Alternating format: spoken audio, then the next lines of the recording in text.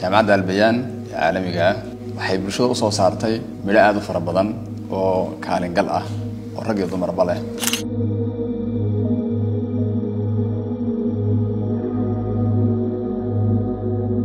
Xaqiiqatan jaamacadda albayaan aasaaskeedu wuxuu ahaa laba kun iyo afar iyo tobankii fikrad ka soo maaxday dad culimo ah iyo dad aqoon-yahana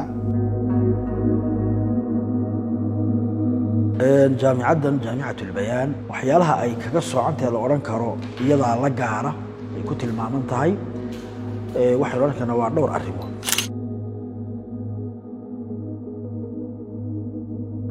Halkana jaamacadda waxaan u imi oo aan ku doortay manhajka ay dhigayso oo runtii manhaj aad u fiican ah iyo deegaanka. Jaamacadda albayaan jaamacadda albayaan. Jaamacadda albayaan. Jaamacadda bayaan. Jaamacadda albayaan. Waxaan ka yimid gobolka jubbada hoose. Kan yimid deegaanka soomaalida gaar ahaan caasimadda jigjiga. Waxaan ka yimid gobolka saaxil gaar ahaan degmada sheekh waxaan ka yimid gobolka sanaag gaar ahaan magaalada ceerigaabo hargeysa oo horumarka dhismayaasha kobaca dhaqaalaha ganacsiga iyo ilbaxnimada ay abuurayaan kororhka dadweynaha iskaga imaanaya dhammaanba dhulalka kala duwan ee caalamku waa mid si xawli ah u koraya sannadba sannadka ka dambeeya. Waxaa taasi garab socda dhisidda goobaha lagu kobciyo garaadka aadanaha laguna dhisa ruuxda bini'aadamka. Goobaha astaanta u ah xaashiyaha wax lagu qoro iyo dhiganayaasha cilmiyada kala duwan ee hormuudka u ah oo horumarka iyo ilbaxnimada adduunkan aynu ku nool nahay.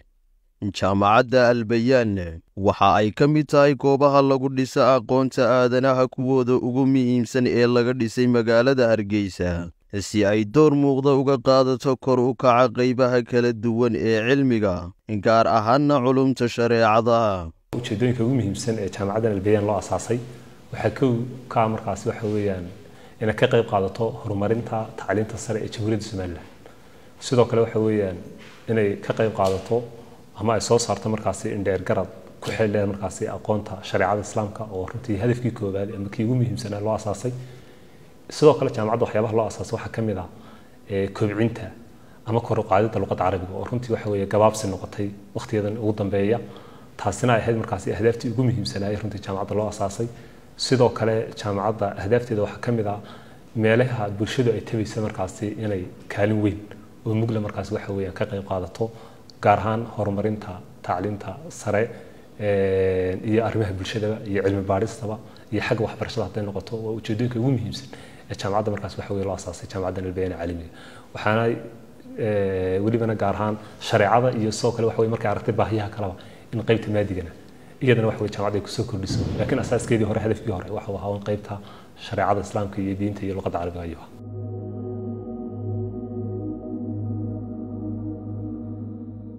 waxaa lagu bilaabay arday siddeetamaad ah oo isaga kala yimi jaamacado kala duwan oo ku yaalla dhulka ay soomaalidu degto. Iyo caalamkaba waxa aana markii u horreysay lagu bilaabay bixinta aqoonta sare ee mastarta. Xaqiiqatan jaamacadda albayaan aasaaskeedu wuxuu ahaa laba kun iyo afar iyo tobankii fikrad ka soo maaxday dad culimo iyo dad aqoon-yahana oo ay ku doorteen jaamacaddan inay aasaasaan. Si rasmiga waxaa loo furay laba kun iyo shan iyo tobankii. Waxay ku bilaabantay markii hore fikraddeedu macad sare oo culimada lagu diyaariyo. Lidalika waxaa la odhan jiray macad alcaali lidacwa daraasaat alislaamiya ardaydii ugu horreysay aanu qaabilay si wanaag. Waxa ay ahaayeen arday ka kooban markaan hoos eegnay malafaadkooda ilaa labaatan jaamacadood ku dhowaad somalilan iyo soomaaliya iyo wadanka dibaddiisaba wadano kale. Shahaadooyin ka soo qaatay ayaanu halkan ku qaabilnay oo aanu waxbarnay oo boardin ahaa oo jaamacaddu u diyaarisay waxbarasho hoy ay degaan cuntadii jiifkii waxbarashadaasoo iskugu jirtay tu akademiya iyo tu xalaqaada oo culimada ugu waaweyn wadanka ay siin jireen. Marka la eego duruufihii ku xeernaa bilowgii ardayda waxay nagu qasabtay inay guryo jaamacadda dhismaheedan dibadda ka ay deganaayeen oo halkaa ay waxbarashadana halkan u iman jireen. Waxay ku bilaabantay jaamacaddu building keliya amba dhisme keliya iyo waxa weeyaan qeybta madbakha oo keliya laakiin maanta alxamdulilah horumar bay sameysay xagga dhismaha. Shan dhisme ayaynu odhan karnaa intan cambaska jaamacadda. Ayaa ku yaalla halkan aynu joogno afar daba ka kooban. Jaamacadda albayaan oo xaqiiqatan sidaa hore aan u sheegay magaalada hargeysa berigeeda ku taala hadafkeeda koowaad ee ay u aasaasantahay sida aanu sheegnay oo qeybahan soo sheegnay waxaana ka mid a yani waxa weya dad culimo ah inay soo de lidalika lixaadka waxay saartaa laba barnaamij oo xagga shareecada iyo xagga tarbiyada educationka oo maaragtay waxa sidii macalimiin iyo dad waxbarashada markaa waxa wey hogaamiyaal ka noqda loo soo saari lahaa ayaa ka mid a. Intii ay jaamacaddu jirtay waxa ay soo saartay aqoon-yahano saameyn ku dhex yeeshay bulshadooda iyo buuniye wax laga weydiiye cilmiga shareecada hogaamiyeyaal da'yar oo qaarkood dib ugula noqdeen cilmigii ay barteen deegaanadii ay ka yimaadeen si ay wax ugu kordhiyaan bulshadooda. Jaamacadda albayaan ee caalamiga ah waxay bulshada u soo saartay midho aada u fara badan oo kaalingal ah oo rag iyo dumarba leh. Waxay soo saartay ilaa sagaal difcadood oo marxaladda magisteerka ah oo takhasusaadka kala duwana shareecada islaamka oo iyaduna takhasusaad sii kale leh hadday tahay fiqiga iyo usuulkiisii hadday tahay xadiiska iyo culumtiisa hadday tahay qur'aanka iyo culumta la xidhiidha sidoo kale qeybaha kale ee iyadana waxbarashada sida waxa weeyaan tarbiyada iyo wixii la mida sidoo kale maraaxisha hoose sida digriga iyo diblomooyinka hoose iyadana jaamacaddu waxay soo saartay midho aada iyo aada u fara badan midhahaas jaamacaddu ay soo saartay ee ummadda soomaaliyeed meel ay joogtaba ay u soo saartay oo ka yimi geeska africa ama geyga soomaaliya degto laga soo bilaabo kismaayo galbeedkana ilaa jigjiga ilaa boorama iyo inta udhaxaysa waxaa la odhan karaa bulshada kaalin weyn bay ugu jiraan. Hadday tahay xaggii culimonimo way u buuxiyeen oo qaar baa deegaanaday joogaan looga yaqaanaa sheikhulbeled inay ka yihiin حقي وحبرشنا وأبو حيونا قارك وبتام عدم معمولة وقدومي التام عدد بشرة وحشرة كل يده. رك قار معمولة تام عدهم معاهد الشرع جا إسكول ده تحفيد كقرآن كيهرك وحبرشنا مراه رنتي لا تعبان كراو إكسو شيء دنا يا وحوي يعني حيسة هجار كالي وحوي هاي كارن في عنك قاتين حكى بدل كده قالها waxaan uga jeedaa waxay ku jiraan wax soo saarka ganacsiga. Ganacsiga waxaa ku jira oo ganacsato noqda ardayda jaamacadda ka baxay qaybo ka mid a. Sidoo kale bangiyada way ka shaqeeyaan bangiyada islaamka iyadana way ka shaqeeyaan ee dalka u leeyahay. Markaynu soo ururino jaamacadda albayaan midhihii ay soo saartay magaalo kasta oo soomaaliya ay degto waad ugu tegaysaa waxaan ka qalin jabiyey jaamacadda albayaan ee caalamiga ee labada kun iyo sagaal iyo tobankii anigoo ka qalin jabiyey kuliyadda tarbiyada iminka waxaan maamul ka ahay markas umul khayraad oo aan isagana culumta shareecada iyo waxaweye dacwada dumarka gacanta lagu hayo. Waxaa kaloon macalin ka ahay muasasada alansaar addacawiya qeybta macadka shareecada ee dugsiga sare. Waxaan aada uga faa'iideysanay kuliyadda tarbiyada oo asaatido aada u qayimihi ayna soo gaadhsiiyeen runtii culuum qiimo badan. Magacay waa mubaarak faarax axmed ka soo jeeda gobolka awdal gaar ahaan magaalo madaxiisa boorama waxaan ka mid ahay ardaydii ka baxday jaamacatu bayaan alcaalamiya sannadkii ko iyo labaatankii gaar ahaan ka baxay kuliyadda xadiidka iyo culumtiisa kadib qalinjebinta kaalintan bulshada ka buuxinay waxay ahayd laba qodob ayaa lagu soo ururin karaa waa majaalu tacliim iyo majaalu dacwati والرعاية الاجتماعية waxaan ka mid ahay ardayda ka qalin bedelatay jaamacadda albayaan alcaalamiya waxaan dhameeyey dibloom sare oo tarbiya ah haddana waxaan maamule ku-xigeen ka ahay dugsiga marwa litanmiyat ilmara ee xaafadda new hargeysa waxaana ku noolahay magaalada hargeysa magacaygu waa shaar cabdilaahi haaruun waxaa ka mid ahaa ardaydii ugu horeysay waxaana ka baxay anigu kuliyat usul diin wadacwa qism alcaqiida jaamacadda markay dhammaatay ayaanu dhammaynay waxaanu soo qabanay sida aniga iyo khiyaartii aanu walaalaha ahayn jaamacaddaanu kala baxnay gobolkii togdheer magaalada buro waxaan qeyb ka noqday macahad sharci ah oo magaalada laga aasaasay way aasaaseen qeyb ka mida mudanta iyo hadoor culimada gobolka. Waxaa ka mid noqday asaasheeshiisii waxaana isla waktigaa ka mid ah noqday nasiib hore inaan noqdo maamulihiisa. Macadkaasoo la yidhaahdo macad alfatxi annamuudaji liculuum alsharciya walluga alcarabiya nasiib wanaag waxaa ah macadkaas ardaydii ka baxday ee laga soo saaray in maanta ay dhiganayaan ama ay joogaan oo arday ka yihiin jaamacadda bayaan. Qaarna digriga ay dhiganayaan qaar kalena hadda ay sugayaan inay darajada labaad ee masterka ay ka bilaabaan. Oo ay macnaheedu tahay in jaamacadda midhaheedii oo waxa weeyaan ficil ah oo toosoo la arki karo ay maanta hargeysa joogaan. Waxaan ka mid ah ardaydii ka qalanjibisay jaamacadda albayaan alcaalamiya ee magaalada hargeysa ku taalla. Waxaan ka qalanjibiyey kuliyadda xadiiska oo programka masarta aan ka diyaariyey. Markii jaamacadda aan ka qalanjibinay shaqooyin kala duwan bay sida caadada ee cultureka ah ardaydu qabataa. Anigu markii aan jaamacadda dhameeyey waxaan macalin noqday jaamacadda bariga africa farceeda buuqoodle sidoo kale waxaa noqday maamulaha shirkadda amal banki amal farciisa buuqoodle runtii jaamacaddaas jaamacatulbayaan waxaa la odhan karaa jaamacadaha kale geyiga soomaaliyeed ku yaalla dhowr qodob bay kaga duwan tahay. Waa jaamacad hoy ah. Taasi oo ardayda ka yimaada goobaha ka baxsan magaalada hargeysa ay ka helayaan goob ay degaan oo ku dhex taalla isla goobta ay wax ku baranayaan waxa ayna leedahay goob wax akhris oo ay ardaydu ka helayaan deganaan iyo jawi ay wax ku akhrisan karaan. Jaamicaddan jaamicatulbayaan waxyaalaha ay kaga soocantahe la odhan karo iyadaa la gaara ay ku tilmaaman tahay. Waxaynu odhan karnaa waa dhowr arrimood. Qolob arrinka koobaad hoyga jaamacadda oo iyo qaabka u qalabaysan yahay.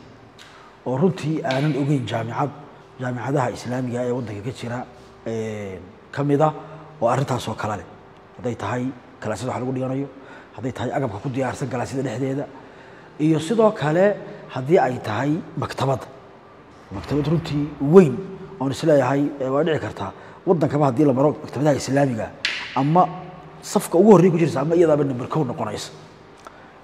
Kutub funuuntii maarata islaamka iyo carabiyada kala duduwanaa oo dhan baa yaalla waxaa kale oo aan odhan karnaa jaamacaddani way la gaar tahay oo jaamacadaha ay kala gaar tahay manhajka waxbarashada wax badan jaamacadaha way la wadaagtaa laakiin waxyaale ay la gaartay baa jirto faniyada muhimkaa qaar badan qaar ka mid ah. Kitaabo aan jaamacadna lagu diraasaynin ayaa lagu diraaseeyaa weliba si qoto dheer loo darsaa oo ardaydu ay xaraf xaraf u akhriyaan oo ay u soo raacaan oo ay runtii itixaamku keliya uun maahe. Iyagoo mustawayaadkii ugu dambeeyey ama leefladii ugu dambeeyey sii maraya ayaa haddana ilaa xaggii hoose. Jaanis u helayaan inay soo muraajiciyaan oo ay soo akhriyaan oo taasina kuma ogin jaamacad kale waxay la gaar tahay jaamacaddani waa jaamacad boarding ah. Oo ardaydu ay halkan u hoyanayaan oo gelin hore gelin dambe ay joogaan. Oo ay cilmigaa barashadiisa u go-een. Iyaduna jaamacad arrintaasi kula mid ah. Jaamacadaha islaamiga ma ogin. Taasi maxay u suuro ardaydii waxay u suuro gelisay barnaamij aan jaamacadaha kale ka jirin uu ka jiro oo tacliintii akaademiga ay helaan sidoo kale tacliintii xalaqaadka oo kutub markaa xalaqaad lagu darsayo ay helaan. Sidoo kale isla kutubtii wixii ay jaamacadda ku dhiganayeen kutubtii ay jaamacadda ku dhiganayeen ay u heli karaan in ay si jamaaci ama koox koox ah ay u muraajiciyaan ay ugu soo celiyaan. Oo markuu kitaabkii soo dhammaadaba haddana muraajicooyin lagu soo celiyo haddana lagu soo celiyo oo lagu soo celiyo. Waana nidaamka keliya aan san is leeyahay culama ay noogu soo bixi karto. Waayo cilmiga shareecadu cilmi culus weyn. Inaa sanulqi calayka qowlan thaqiila baa ilahay nabiga ku yidhi. Qur'aanku waa qowl culus. Culumta lagala baxayna waa culum culus wey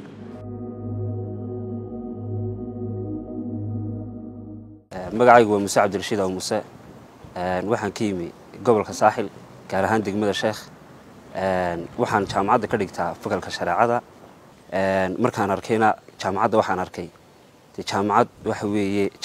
kale ka duwan oo ka qiimo badan oo aada uga qiimo badan oo ka saraysa waxa lagu dhiganayo magacu waa saacid faarax xuseen waxaan ka yimid gobolka jubbada hoose gaar ahaan magaalada kismaayo waxaan dhigtaa jaamacadda albayaan ee magaalada hargeysa jaamacadda waxaan ka dhigtaa kuliyadda shareecada gaar ahaan alfiq usuulu jaamacadda waxaan ku doortay bey-ada jaamacadda oo ah mid munaasab ku ah deegaanka waxbarashada iyo jaamacadda u diyaarisay dadka ka imaanaya dibadda magaalada hargeysa sakan ama deganaansho dhammaystiran sidoo kale jaamacaddu waxay leedahay oo intaaba ka duwan intaa ka dheer manhaj dhammaystiran oo aada looga shaqeeyey sidoo kale jaamacaddu waxay leedahay maktabad aada u weyn oo ardayga ka caawinaysa waxbarashadiisii magacaygu waa cabdiraxmaan cali maxamed waxaan ka yimid gobolka sanaag gaar ahaan magaalada ceerigaabo asbaabaha igu kalifay inaan jaamacadda imaado ama aan ka mid noqdo ardayda jaamacadda waxaa ugu waaweyn sababood meelaha سبت كواد واحد هاي إن جامعات أي جامعات هاي كل مسي كان بكي حلقة جها يكان بكي أكاديمي جها وأرد يجي حلقة دي حر وكلا وأرد يجي كده لقدر يسويه حاجة كلنا كان بكي أكاديمي جها دي بحتة جها دي أهرمة كلا هاي ولقدر يسويه سبت على بعض أنا دورتي وحوي علماء جامعات كه والجلسة أو أه علماء تخصص كي أي ليجيان يعني، علمي. ولا أتمرك واد مجعي وعبد الله حسن محمد. Kana soo jeeda kana yimid deegaanka soomaalida gaar ahaan caasimadda jigjiga. Waxaan ka mid ahay ardayda jaamacatulbayaan jaamacatulbayaan waxyaalaha ama waxyaabaha aan ku doortay waxaa ka mid a inay leedahay deegaan oo sakan meel la seexda ah ay kaga duwan tahay jaamacadaha kale ee dalka. Sidoo kale waxaan ku doortay jaamacaddu inay qalab ahaan ay jaamacadaha kale ee dalka ka casrisan tahay sidoo kalena qodobka kale ugu muhiimsan aan ku doortay waxaa ka mid ah inay jaamacadaha kale simister ahaan ay ka raqiisan tahay qiimaha. Anigoo magacaygu yahay cabdiqani siciid maxamuud. Waxaan ka yimi gobolka togdheer magaalada madaxdiisa burco. Halkana jaamacadda waxaan u yimi oo aan ku doortay manhaj ay dhigayso oo runtii manhaj aad u fiican ah iyo deegaanka iyo boardinka iyo maxaan ku dhahdaye nidaamkii xalaqiga ahaa iyo nidaamkii akademiga ahaa oo labadaba jaamacaddu kulmisay. Alxamdulilah muddo saddex sanaan hadda waan joogay. Wax badanna waan ka faa'iiday. Goobtani waa masaajid ku yaalla gudaha jaamacadda. Waxa ayna ardaydu ku qaataan gelinka dambe cashare taxana ah oo ay si bilaasha u siiso jaamacaddu. Xalaqaadkan ujeeddada ugu muhiimsan aynu ka leenahay ama guud ahaan jaamicaddu ay u jidaysay ama ay ka leedahay waxa weeye waa in kor loo qaado inuu hoos u dhacay guud ahaanba sidii beryihii hore marka loo eego laba ujeeddooyinka waxaa ka mid a in la soo nooleeyo nidaamkii xalaqaadka oo cilmiga si guud ay dadka soomaalidu ugu baran jireen oo ay uga faa'iidaysan jireen nidaamka xalaqaadku jaamicaddu qaabka ay u kulmisay jaamicatulbayaan waa in gelinka hore lagu qaato waxa weeyaan qaybta jaamicadda waxbarashada nidaamiga ah gelinka dambena masaajidka jaamicadda lagu qaato waxbarashada xalaqaadka cilmiga ah oo kutubtii sidii ay ahaan jirtay loo laqbaynayo iyadoo inta kow laga bilaabo kitaabka la dhammaynayo ka ku xiga haddana la akhriyayo. Waxaa intaasi markaa sii raaca kutubta ay qaateen ama guud ahaan culumta ay qaateen waa cilmiga tafsiirka qur'aanka kariimka oo dee kow isagu ah ardaydu markaasi kaas way qaataan waxay ka qaataan culuumu shariica sidoo kale fiqiga islaamka gaar ahaan fiqiga imaamu shaafici raximahullah laga bilaabo markaasi labada safiino ilaa kitaabka minhaajka waa silsilad lix kitaab ama shan kitaab ka kooban oo ay ku jiraan markaasi manduumo la xifdiyayo oo manduumatu zubad oo xifdi iyo hodhakada laga qabanayo waxaa ka mid ah kutubta markaasi la xidhiidha xagga luqada carabiga naxwadii iyo sarfigii iyo balaaqadii iyo kuwii la ahaa iyadana markaasi ajruumiyada laga bilaabo ilaa kitaabka ibnu maaliga way yaqaanaan dadka dalabatulcilmigu silsilada noocaasa kutubta udhaxaysa ilaa shan kitaab lix kitaab bay noqdaan. Waxaa la socdaa kutubtii xagga caqiidada oo markaasi iyagana ay ka qaateen kutub. Markaasi uu ka mid yahay kitaabka xamawiya la yidhaahdo. Waxaa markaasi ka mid a kutub kale oo rawxaaniyaadka la xidhiidha oo iyaguna markaasi qofka ruuxdiisa iyo lagu dhisayo markaasi xagga cibaadadiisa iyo quluubtiisa iyo raqaa'iqii lagu dhisayo فعل قياس ما أزدر المعدى من ذي ثلاثة كرد رد وفعل اللزيم بابه فعل. كفرح وكاجو وكشلل وفعل اللزيم مثل قعدا له فعول باضطراد كغدا ما لم يكن مستوجبا فعالا. أو فعلا فأدري أو فعالا فأول لذي امتناع كأبا والثاني للذي اقتضى تقلبا muddo dheer oo ay gaar u ahayd dhigista culumta shareecada iyo qaybaheeda kala duwan. Mustaqbalka dhow waxa ay jaamacaddani soo kordhinaysaa culumta maadiga ah iyo qaybaheeda kala duwan. Taasi oo fursad siinaysa ardayda iyagu jecel culumta maadiga ah. Inay noqoto goob caalamiya sida ka muuqata magaceedaba jaamacat albayaan alcaalamiya jaamacadda bayaan caalamiga ah. Inay noqoto goob markaasi hogaamisa aqoonta diinta iyo aqoonta maadiga labadaba oo runtii waxa weye bulshada. Markaas waxa weeyaan baahiyaha ay qabta ee kala duwan. Markaas waxa weye kolba ay ku salayso kuliyadaha iyo facultiyada ay soo kordhinayso oo ay noqoto insha allah haddii idmo hormuudka. Dalka iyo waxa weye markaasi africa iyo caalamkaba insha allah haddii alla idmo si magaceeda ka muuqata gaar ahaan hadday noqoto dhinaca waxbarashada hadday noqoto dhinaca adeega bulshada. Waxaa kaloo intaasaan ku dari karaa mabaadida ama risaalada jaamacaddan albayaan xambaarsanta haddii alla idmo. Kow waxaa ka markaasi faafinta aqoonta shareecada oo tayeysan waxa weye markaasi waxa ilaalinta akhlaaqda iyo habdhaqanka wanaagsan ee bulshadu leedahay. Waxa weye markaasi ka qayb qaadashada markaasi adeega iyo markaasi baahiyaha bulshada ee kala duwan.